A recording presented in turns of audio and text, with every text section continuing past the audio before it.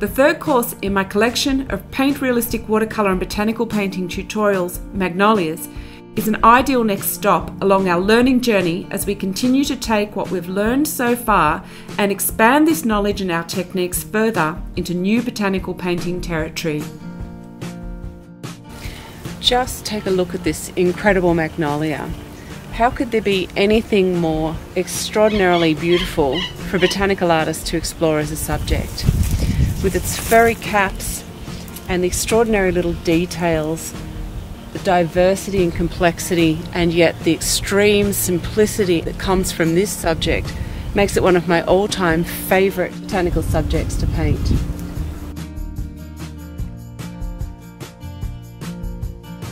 It's certainly not hard to understand how the magnolia has been a long time favourite choice for botanical artists across the centuries.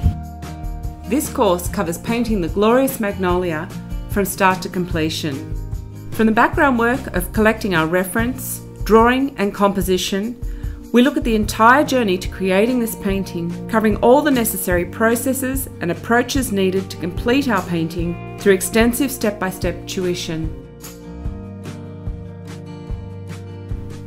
Magnolias are a perfect progressive step forwards not just because of their beauty and popularity, but because they present us with such a fantastic cross section of essential painting technique practices, exploring washes, glazes, dry brushing, and in this tutorial we have a specific focus on creating texture with watercolour.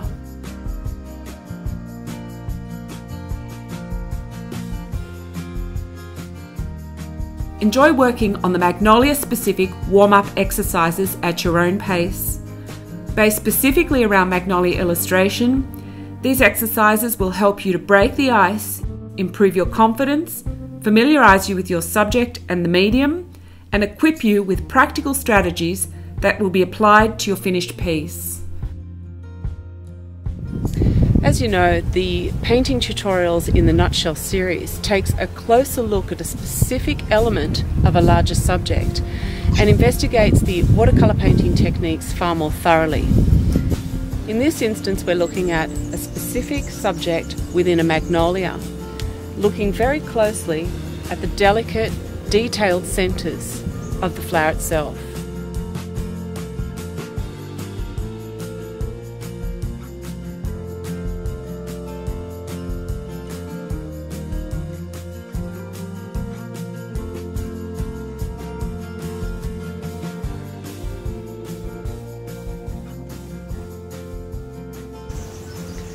Choosing the Magnolia Centre for our first nutshell series of botanical painting tutorials not only gives us a far more sound and comprehensive understanding of the magnolia as a subject, but it allows us to explore in more depth the watercolour painting techniques required to produce this kind of information adequately in our finished paintings.